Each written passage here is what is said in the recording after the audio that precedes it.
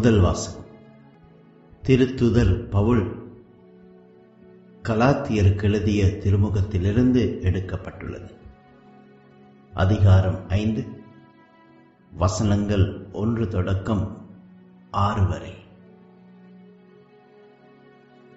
சகோதர சகோதரிகளை கிறிஸ்து அடிமை நிலையிலிருந்து நம்மை விடுவித்து நமக்கு உரிமை வாழ்வு அளித்துள்ளார். அதில் நிலைத்திருங்கள் மீண்டும் அடிமை தலை எனும் நுகத்தை உங்கள் மேல் ஏற்றுக்கொள்ளாதீர்கள் பவுலாகிய நான் உங்களுக்கு சொல்கின்றேன். நீங்கள் விருத்த சேதனம் செய்து கொண்டால் கிறிஸ்துவால் உங்களுக்கு பயனே இல்லை.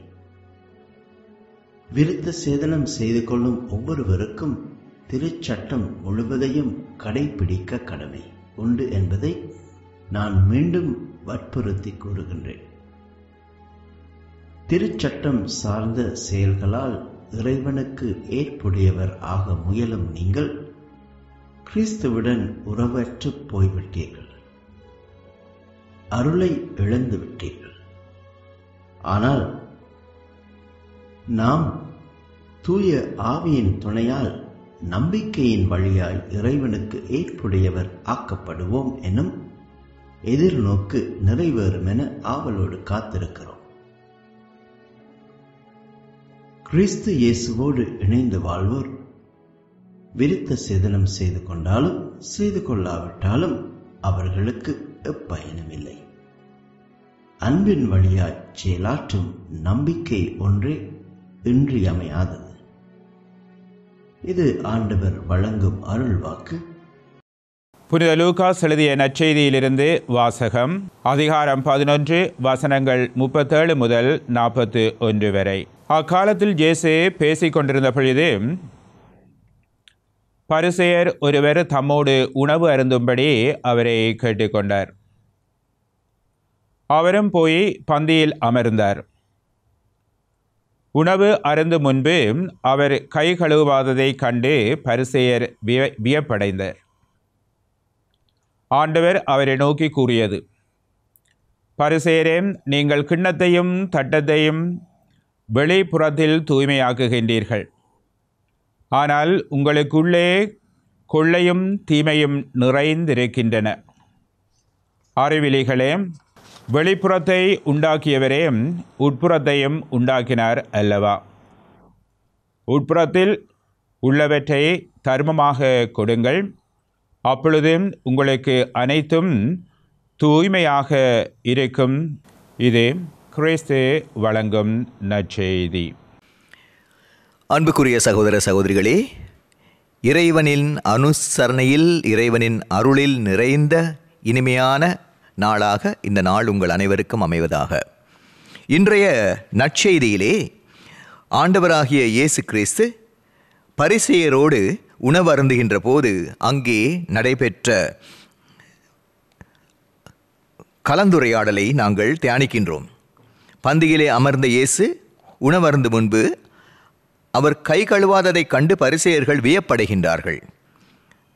இயேசு அவர்களை நோக்கி கூறுகின்றார் பரிசெயர்களே நீங்கள் கிண்ணத்தையும் தட்டையும் வெளிப்புறத்தில் தூய்மையாக்குகின்றீர்கள். ஆனால் உங்களுக்குள்ளே கொள்ளையும் தீமையும் நிறைந்திருக்கின்றன. அறிவிலிகளே வெளிப்புறத்தை உண்டாக்கியவரே உட்புறத்தையும் உண்டாக்கினார் அல்லவா? உட்புறத்தில் உள்ளவற்றை தர்மமாக கொடுங்கள் அப்பொழுது உங்களுக்கு அனைத்தும் தூய்மையாக இருக்கும் என்று கூறுகின்றார்.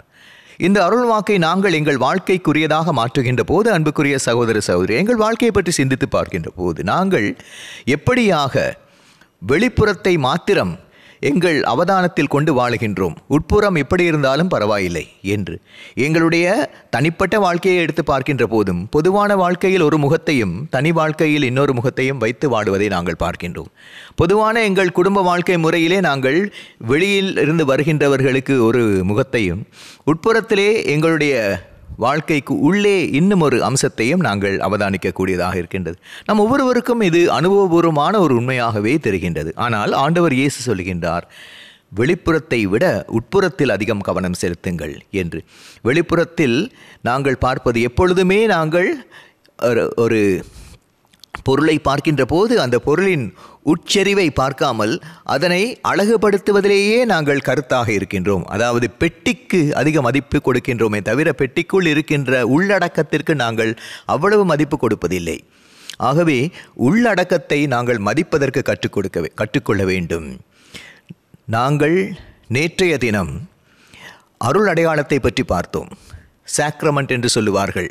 நட் அதாவது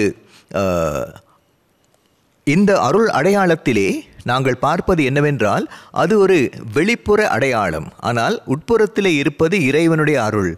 உட்புறத்தில் இருக்கின்ற இறை அருளை வெளிப்படுத்துகின்ற அடையாளமாகத்தான் அதனை பார்க்கின்றோம். ஆகவே உட்புறத்திலே இருக்கின்ற அந்த உண்மை நிலை என்னவென்றால் தூய்வ தூய ஆவியின் அசைவாட்டம். இந்த தூய ஆவியின் அசைவாட்டம் சீராக நடைபெற்றால் வெளிப்புறத்தில் அனைத்துமே இனிமையாகவும் அழகாகவும் இருக்கும் உண்மையாக இருக்கும். ஆகவே உட்புறத்திலே தீமையை வைத்துக்கொண்டு வெளிப்புறத்திலே நன்மைத்தனத்தை பாசாங்காக காட்டுகின்ற பழக்கத்தில் இருந்து நாங்கள் விடுபட்டு உட்புறத்தின் உண்மைத்தன்மையை அனுபவிப்ப அனுபவிக்கவும் அதனை வெளிப்படுத்துகின்ற போது அழகாக உண்மையாக நாணயமாக நேர்த்தியாக நேர்மையாக வெளிப்படுத்தவும் நாங்களும் கற்றுக்கொள்வோமாக. பரிசெயத்தன்மையிலிருந்து விடுபட்டு இயேசு கிறிஸ்துவின் உண்மைத்தன்மையை நாங்கள் எமதாக்கிக் கொள்ள நாங்கள் இன்று இறைவனுடைய அருளை கேட்டு மன்றாடுவோம். ஆண்டவராக இறைவா இன்றைய நாளுக்காக உமக்கு நன்றி கூறுகின்றோம். எங்கள் வாழ்க்கையிலே இவ்வளவு உன்னதமான ஒரு கற் ஒரு கற்பினையை எங்களுக்கு கொடுத்தமைக்காக உமக்கு நன்றி கூறுகின்றோம். வெளிப்புறத்தை படைத்தவர் உட்புறத்தையும் படைத்தார். உட்புறத்தில் நாங்கள் மதிப்பு கொடுக்க உன்னதமான கடவுளை எங்கள் வாழ்க்கையின் உட்புறத்திலே அனுபவிக்க எங்களுக்கு தூய ஆவியின் அருளை தந்து கற்றுக் கொடுத்திருளும். ஆமேன். ஆமேன்.